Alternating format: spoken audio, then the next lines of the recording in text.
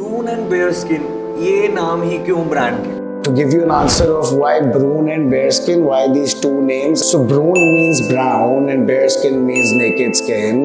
So what we believe is men in world are either of two kind.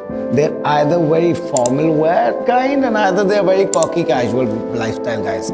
तो one would be a person who would love to wear formal cloth अगर आप उनको किसी casual event पे भी देखोगे तो वो लिनन की शॉर्ट्स पहनेंगे एंड पे आना शूज़ पहनेंगे लिनन शर्ट पहनेंगे और वो फॉर्मल्स पे इवेंट्स पे प्रॉपरली फॉर्मल ड्रेस्ड होंगे।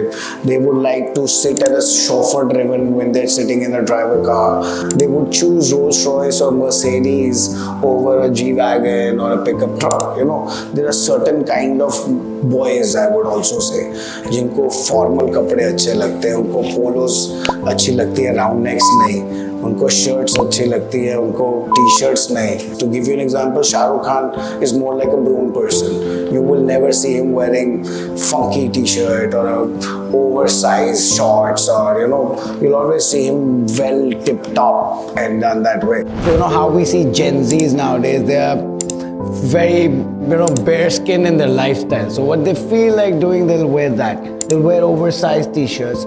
They'll wear sneakers with tuxedos. They'll wear boots with ethnic clothes.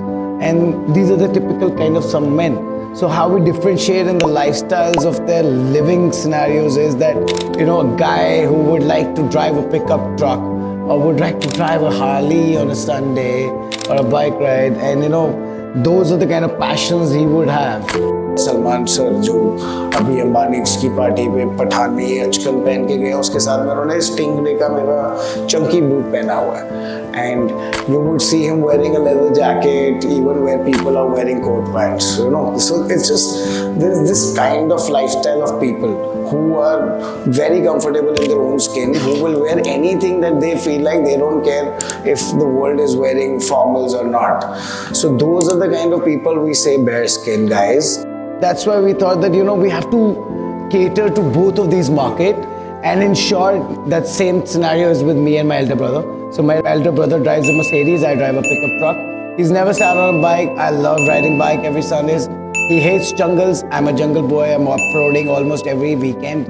So it's just us two separate people. So now when we come into designing, there's some particular kind of things that he likes and he feels very obnoxious about the other ones. But those obnoxious ones are the rebellious ones that I like.